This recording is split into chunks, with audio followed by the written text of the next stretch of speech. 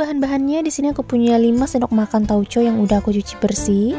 Kemudian ada 3 sendok makan gula pasir dan setengah potong gula merah ukuran kecil. Lanjut, di sini aku punya 9 siung bawang putih yang udah aku cuci bersih dan udah aku kupas juga. Kemudian di sini ada 6 jeruk kunci dan 4 batang cabai ukuran besar. Kalau teman-teman mau yang rasa lebih pedas bisa ditambahin lagi cabainya. Lanjut, untuk bahan selanjutnya di sini aku tambahkan 500 ml air ya teman-teman. 500 ml ya. Ya udah, sekarang kita lanjut ke cara pembuatannya. Sekarang aku mau ngeblender cabai, bawang putih, dan tauconya ya teman-teman.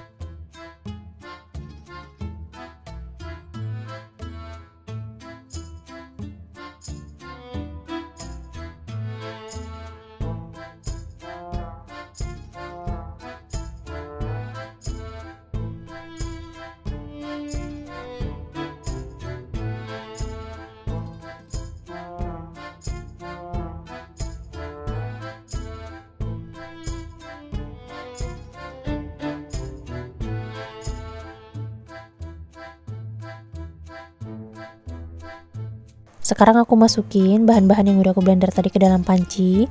Kemudian aku masukin lagi 3 sendok makan gula pasir dan gula merahnya tadi ya teman-teman. Kemudian kita masak sampai benar-benar mendidih.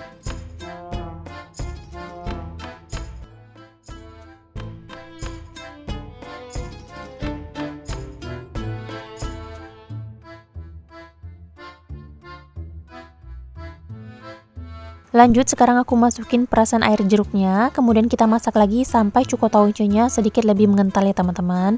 Dan jangan lupa koreksi rasa. Gimana? Gampang banget kan cara pembuatannya? Oke deh teman-teman, sekian dulu video kali ini dari aku dan terima kasih sudah nonton. Jangan lupa dicobain resepnya ya. Dadah!